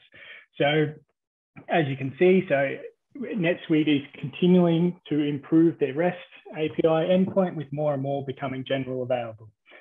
Um, on top of this, you've also got the release of the Suite Cloud extension for Visual Studio, if that is your preference for development work. Um, they're probably the key highlights um, from a technical point of view. Thank you. Short, sharp, and sweet, Jonathan. Love it. it. Thank you. Thank you so much. Really appreciate it, mate. Hey, I am now going to quickly move on to Hemel with some helpful tips. Hemel, hello. Hi, hello. Thank you so much, Andrew. So I thought I'll just share my video while I'm uh, gonna present this. It's just a way, way of saying hello to everyone. Uh, I think most of the consultants had an opportunity to meet all of our customers, uh, whereas I haven't, and I joined just recently. So I thought this way I can at least introduce myself. Um, I don't have any new features or new items from the feature release uh, to come in here, but I just wanted to present a couple of nice to know things, um, which I think will be handy for you. Um, so ever wondered if you would have ever wondered about your emails that are going to your customers, your invoices or your communications that is going to your customers, and you're ever wondering whether those emails are actually getting to your customers or not. Uh, if you are, then if you want to have a look at them, NetSuite has this perfect uh, facility through setup company and sent email list. And on the right hand side, that page will open up as you can see through the image over here. Uh, it's it's gonna show you all the emails that are sent for last 30 days. Now, this is a view. Uh, you can just customize it and add a couple of filters like status and send date. Uh, it's really handy to see, like you can change the status of those uh, in that filter to the emails that are not sent. And if you want to see by today or yesterday, you can do that. And you know, if you click on that number over there, as per my uh, annotation over there, you'll be able to get more information. And this was a perfect example. When I clicked on it, and I scroll down to that page, I could see that um, error message in yellow, which says there's a permanent failure, bad destination mailbox address. So, I mean, whosoever the customer address that was added in there, it was an incorrect email address, and hence the email did not go there. So if you ever wondered about your emails, here's a list, here's a way of doing it. And uh, thanks, Andrew. The next page is another little bit of, um, you know, tidbit, which uh, NetSuite offers us, which I really think is really fantastic to see is that now and then uh, when NetSuite sends emails out, and if customer's email address or uh, the server is not working, those emails email addresses could get bounced and the NetSuite could actually put it in a block list and they block it for X amount of time. So if you ever want to see, like if a customer comes up to you saying that, oh, you, I was waiting for your invoice and haven't received it yet, then um, you know have a look in here as well. Go to list relationship bounced email addresses and you'll see a list of email addresses which are in the block list and you can go in there and if customer says that um, you know your end customer says that all of your uh, their email addresses are working well, then just uh, remove them from this list and NetSuite will next time will try to send that email. All right, that's about it from support. Um, you know, that's it for me. If you have any questions, fire away. And yeah, thank you, Andrew. Thanks so much, Hemal. Really appreciate it, mate. Again, short, sharp, and sweet. Uh, really appreciate it. Hey, that uh, ends the formal part of our webinar today. So look, a big thank you to all of our consultants to jump on and uh, uh, share their knowledge with everyone. Uh, I really appreciate that. That's not something that just comes together in five minutes. It uh, takes up quite a bit of time. So I really appreciate the time that everyone puts into, into this. And, and of course, Hemal, our support manager, and Paul Beatty. Uh, thank you to the NetSuite guys for um, jumping on and, and saying a few kind words about Liberate and, and explaining uh, why we won the the Customer Excellence Award, uh, really important to us, uh, as is the ongoing support that we give you all. So uh, we do have uh, a session lined up for any new users to NetSuite that uh, Hemal will be uh, going through with you. so if you're new and have never gone through the NetSuite upgrade process, we'll, um, we'll do that shortly. So we'll kick off that in about you know 30 seconds time. So go grab a glass of water, sit down, relax, and um, and uh, and you'll listen to Hemal go through all things the NetSuite upgrade process. But uh, for everyone else, uh, thank you very much for joining us. Really appreciate it. Um, if you've got any follow-up questions, feel free to reach out to me um, uh, or contact support desk. They'll, they're very good at helping out uh, as well. And um, and goodbye for now. All right, so anyone that's left over who is interested to know about our release process, about NetSuite's release process, um, please give another 15 to 20 minutes. I'll try my best to be as brief and succinct as possible. But I think there's some important information in here which will be really of benefit to you. So please hang in there and uh, let's go through that. Okay, so to set the scene of this presentation, so as we all know, so NetSuite is a multi-tenanted cloud-based SaaS product. So, and you know, as any as any software product, it needs its upgrades, and the upgrades of NetSuite is part of your license fee. So you don't have to pay anything for it, um, but you know, it is pushed by the vendor. It comes to you, and all customers are on the same version. Now, NetSuite does a great job in upgrading all of its customers consistently year on year. And you know, no one's left behind. It's easier for us in support to provide that um, support to all these customers because from our point of view, everyone's on the same version. Now, comparing that to 10, 15 years back, you know, when you had, you may have had an on-prem system or a SaaS solution, which when they, they did an upgrade, you may be version locked. That's not the story with NetSuite. So just to set that scene as to how the upgrades are done, it is uh, everyone's on the same version, uh, except during when the upgrades are done by itself, right? There are phases in there. So that's what I'll talk on the next slide over here, where the upgrades, there's a schedule in here. So uh, as you all know, uh, there are two upgrades in a year uh, with the Q1 and Q3. In Q1 and uh, sorry, in Q3 this year, um, every year, there are three phases in there. the upgrades are done by NetSuite as part of the process of doing it by hemispheres. So there's a northern hemisphere where Americas get done, and in southern hemisphere where APJ, JPEG, and JPEG are taken care of. And uh, we we normally get in the second wave over there, and there are three waves uh, in the for the second uh, the third quarter upgrade, which is for the mid August, mid September, or mid October. So generally the upgrades are done on the weekends, and you will get notified as to when the upgrades are done. I'll tell you more about it in a second. Um, I just want to take a moment about telling you about the timings, right? So uh, NetSuite will, will normally say they will do the upgrade during 8 a.m. to 11 a.m. Pacific time on the weekend, uh, which will be in turn to be of our 3 a.m. to 6 a.m. Uh, on a Saturday or Sunday. And, you know, it's normally about 30 minutes. So when you know there is a release planned, try not to schedule any work on your end. Um, just you know, uh, know that that there will be a downtime. Yeah, no one will be able to work any uh, anything in your NetSuite production portal at that particular weekend. All right, so uh, again to reiterate, um, which is important to know, uh, it's an upgrade of your whole system. Uh, by default, all functionality is actually provisioned as switched off. So NetSuite does another and as part of its upgrade process, it wants to make sure that your system just works flawlessly. Uh, and the next day, on the Monday that you come into office, it should just work as before. Um, but you know, and and as part of its thinking, it's gonna ensure that all the new functionality is switched off. Uh, it is up to you to go in and turn it on after your testing, right? So more on testing in a moment. But I want to make sure that you also know that when the upgrades go on, you will be asking, well, if everything is turned off, well, the new function is turned off, so I shouldn't be too worried about it. Well, that's not quite the case with any software upgrade. Things can go wrong. And this presentation is all about making you prepared for it. So uh, here are some examples like date format could change. Some of your you know, scripts or automated workflows uh, could have a little bit of niggle over there. So which we might may need to get involved to get it resolved. So, you know, just for those reasons, we need to test things out. And I'll talk about that in a moment.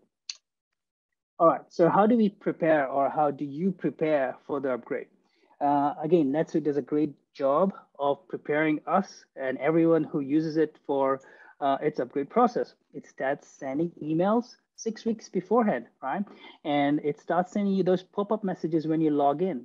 So uh, you know again something about these pop-up messages like you know it's a human behavior. Is you you get so much more notifications uh, or emails. You tend to put them in a uh, little uh, filtered inbox. Uh, don't do so especially during the release time. You know in the q1 or q3 there's going to be a release. And for those timings uh, ensure that you do read i mean i would say to read all of the pop-up messages and emails from netsuite. But uh, during the release time it's good to be extra aware of it uh, NetSuite creates all these blogs and videos uh, to help us all out. And, uh, you know, it's important to read about it and I'll show about that in a moment. It's also got a release portlet, which is a visual indication about where things are. And I'll show that in a moment as well. And, you know, at the end of the day, Liberate is there for you to to help you out, right? Um, and we do these uh, you know these user events which are coincided with these release times to just to bring that awareness to you about things what what's changing towards you and and how you can prepare to ensure that your business uh, keeps on working as before all right so let's jump into this release portlet uh, which is a really handy tool that uh, NetSuite provides. Um, it is on your dashboard. Uh, by default, it should be there, but if it's not there, go into your dashboard and just hit personalize and add that in. Um, and you know, it's like any other portlet, you can minimize it, but during your release times, right? So during your Q1 and Q3 times, please do keep it, uh, you know, enlarged and keep an eye on it. So I want to bring your attention to this uh, square on the top right, uh, which is this one, and I'll, I'll, go to the next slide over here. It tells you about which release is going to come towards you, what's the upgrade uh, phase for it, on which date it's going to be. So at this very moment, when I took this screenshot yesterday, I did not have a date for Liberate IT's NetSuite upgrade uh, date on it, right? But I do know it's going to be in mid-October and the date's going to come. So, you know, our consultants are already aware about what's changing. They're already testing and preparing things for you to consume. But the same rate, like you can do the same thing for yourself by looking at this portlet over here. All right. So I wanted to, um, as we present this, like eh, when you come to this present uh, to this portlet, I want to start from easiest to the hardest part. Well, you know, when I say easiest, it's in the point of view from the time. So Sneak peek is literally the word sneak peek. It just gives you a quick way of seeing about what's changing. So if you're interested, like, I mean, if you're short on time, come into it, click on sneak peek, and it gives you access to all these NetSuite blogs, which they've written about what, what changes that are coming towards you. They are quick five minute read. So really no excuse to not know about what things are coming towards you. Okay, so the next thing is, um, you know, going back to our portlet in dashboard and looking at release notes over here. Uh, when we look at the release notes, this is what our consultants have looked at to prepare this user event. And it's a deep dive on all the changes that have happened. They've taken screenshots and presented to you. Uh, you can do that by yourself as well. If you've got that much amount of time, definitely go ahead and do that. Or if you you know you know something's changing and you start consuming it and then you go oh i want to read about it so here's a quick way of getting to that point uh, release preview login so i'll come to that in a moment it's a in short it's a, a way of actually i'm on this slide already. That's the next slide over here. So release preview login or release preview. What is release preview? I'm going to take a different approach to, to this. So you may have heard of sandbox. Uh, it's a, a, it's a separate environment, um, which you normally have to pay for it. It's a license that you pay on a year on year to get a sandbox environment. Release preview is another environment that you get, which is given to you for free for the release preview time. And just to uh, want to reiterate this definition of it, which is really important to me, I thought, is that it's a complete backup of your production account. I'll hold that thought on that production account for a moment, but it's a complete backup for sure. And it's a standalone system, it's a standalone environment running the latest software, latest release from NetSuite. Um, and that's a really important thing for you to uh, get your hands on to you know six weeks before when netsuite starts sending all these email notices it's that's the time when you should actually get into a release preview account get it provisioned and start testing things out okay? And one thing which I wanna say is that it's totally separate environment. I wanna reiterate the fact it's a totally separate environment from the production or sandbox environment. It You normally, uh, you know, yeah, it says three to four weeks uh, uh, before the upgrade, you get access to it and it lasts for another two weeks. It is taken away without uh, warning. So the reason why I put it in red over there, it's really important because we've had, I've had stories actually. So I have not experienced it myself, but I've had stories where customers may have actually done their live transactions in a release preview. Uh, I'm going to try my best to make sure that you don't fall into the same, uh, you know, mishap over there because there's a, there are ways of doing that. But you know, just want to make sure that just got to be mindful. That's a separate environment, and, and as to which environment that you're working in. So just know that. And now, in last release or year uh, release before that, uh, NetSuite introduced this facility where you can actually copy down your sandbox environment to the release environment. So what that means and why would you do that, right? So uh, normally you would want to do the copy or a sandbox refresh of your production environment. So, but in some instances, you may be working on a particular workflow or a process or business process uh, in your sandbox environment. And your sandbox environment by that time is already ha having the latest data from your production environment, all right? Uh, but you are getting close to the release time and you're saying to yourself, it would, it would, it would be pretty beneficial for us to test things out a new business flow in the release environment, but with the sandbox data, but with the new uh, process that you're working in. And hence, you have this ability of getting the copy of your sandbox into release. Okay. So how do you get your hands onto a release preview?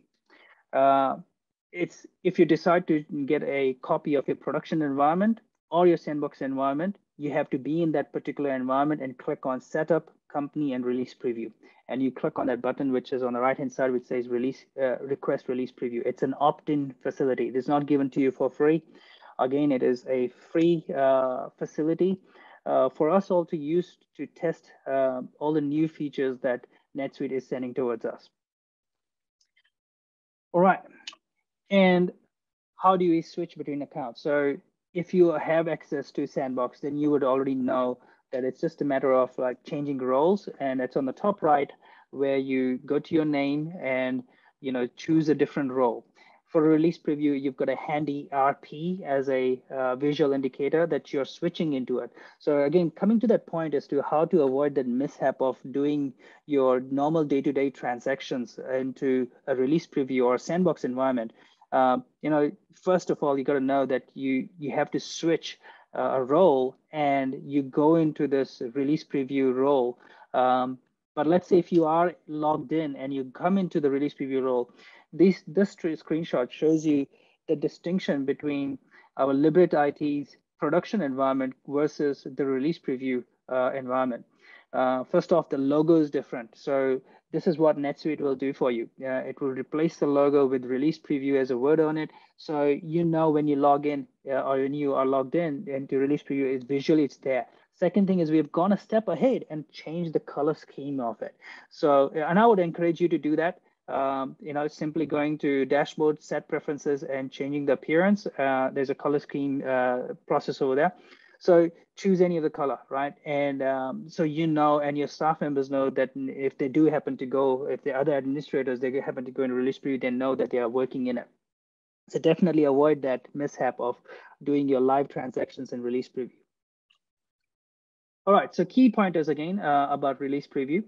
Um, so when you are in release preview, uh, something to, to be aware of that like, you know, your integrations uh, may need to change the endpoints over there. So uh, let's say you had an integration in your production um, and, you know, they may be connecting to, to a production environment or production environment on a the other party or the vendor.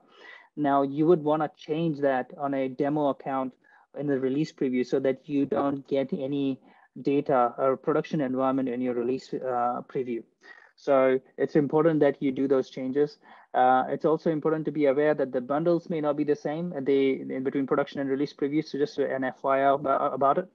And also when you do log into release preview, the performance may be a little bit slower when you initially start off, right? So that's just when the systems are uh, getting into the gear. All right, um, just going on to that, uh, the, you know, going from amount of time that you've got uh, to do the training on. Now, if you've got some more time, then there is really training resources, which are really handy videos that NetSuite creates. NetSuite puts in a lot of effort in creating these videos. They are deep dive uh, done by the product managers of NetSuite. And as you can see by this image, they are the latest versions over, over here.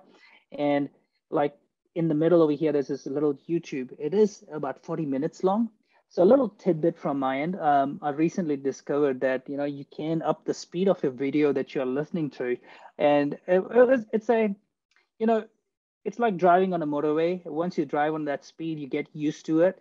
Uh, it's like that. You you increase the speed of this YouTube, and your mind will get used to it. Uh, it's just really you want to sit back and listen to it, uh, and you you know about you'll get to know about all the commentary between product managers, and you'll get to know the reasoning about why a change was done. So it's really handy to do so.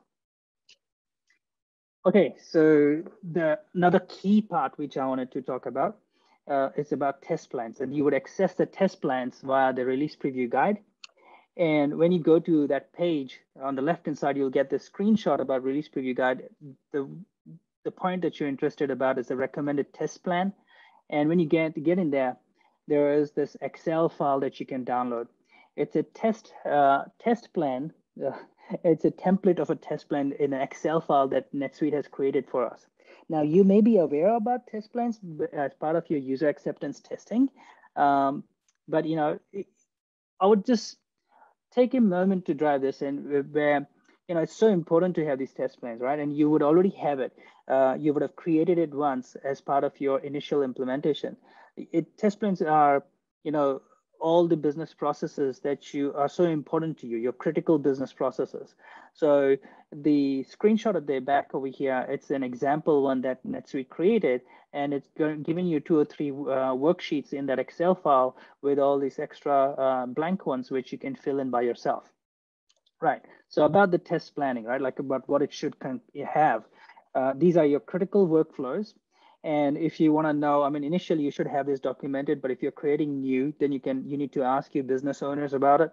Um, and you want to start visually drawing these uh, process flows or test plans and uh, the business processes, right? So you want to, you know, just a little tidbit, right? You can use a program called Lucidcharts It's a web-based uh, app which will allow you to draw out all these process flows. And once you have you know visually articulated them then you can put them uh, in a written manner into in that excel file and then start uh, using it and executing it so it's another yet another uh, tool or, or, a mechanism that NetSuite provides us for the success of consuming this new releases that have been given to us. All right, last but not the least, Liberate IT, we are here to help you out with any questions that you may have during the release process or any new functionality that you want to use. So that's about it from me. Um, yeah, if you have any questions, fire away. And over to you, Andrew. Thanks, Hemal. Thanks so much. Uh, Yvonne's got a question uh, just mentioning that um, they can't change the color of, of their environment anymore. I do remember that from a couple of releases ago, but maybe uh, uh, we could just have a look at that for her as a as a um, support case mate. That'd be great. Yeah, absolutely. Sure, absolutely, definitely. Fantastic. Get, well, get that, in touch with you directly. Brilliant. That uh, that is fantastic. Well, that wraps up uh, the both the formal and informal part of uh, today's session. So, look again, thanks everyone for joining today. Really appreciate it. Hope you found that last section helpful.